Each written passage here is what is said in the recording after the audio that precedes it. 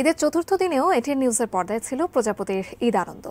Online গান নাচ এমনকি সরাসরি দর্শকদের অংশগ্রহণের সুযোগ এই আয়োজনে। আরও জানাচ্ছেন সহকর্মী মাহফুজা মাসলাহি।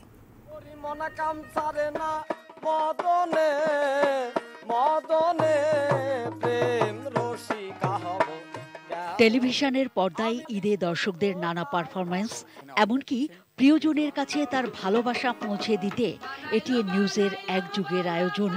প্রজাপতির ঈদ আনন্দ। বানাইলো বানাইলো মাওলা তার নাম হইল মাওলা। দেখিয়া তার রূপের ঝলক দেখিয়া তার রূপের ঝলক। আসল রাজা হইল আওলা রাজা হইল আওলা কে বানাইলো রে? পাঁচ দিনের অনুষ্ঠানে বেলা সাড়ে এগারোটা থেকে সন্ধ্যা ছটা পর্যন্ত প্রতি ঘণ্টার সংবাদের পর এটি নিউজে হোয়াটসঅ্যাপে দর্শকরা পাঠাচ্ছেন নাচ, গান, এমনকি কবিতার পংক্তিও। পাঠাচ্ছেন প্রিয়জনের উদ্দেশ্যে শুভেচ্ছা বার্তা।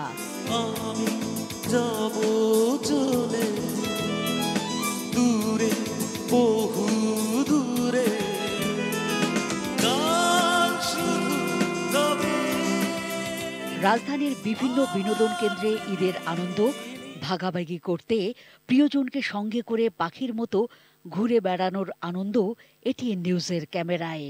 জাদুঘরে অনেক কিছু আছে এই জন্য বাচ্চাকে দেখানোর জন্য নিয়ে আসছি। আমি দেখি নাই ওগুলো আমার দেখতে মন চাইছে অনেক। নিউজকে জানাচ্ছি ঈদ মোবারক। ভালো ঈদ কাটছে আর এখানে আসা একটু ভালোই কাটবে। আসলে আমাদের হোম ডিস্ট্রিক্ট দিনাজপুর সবাই আসতে একটু লেট হয়ে গেছে। যার কারণে আজকে আমরা ঘোরার একটা সিদ্ধান্ত নিয়েছি। তাল আমি নিয়েছি নতুন জামা পরেছি। ফ্রেন্ডদেরকে যারা কাছে নেই তাদেরকে শুভেচ্ছা জানাতে চাই। আমার বোন রিমুকে নিয়ামুলকে সবাইকে অনেক শুভেচ্ছা জানাতে চাই। থাকছে আনন্দ উদযাপনের অনুভূতি প্রকাশের সুযোগ।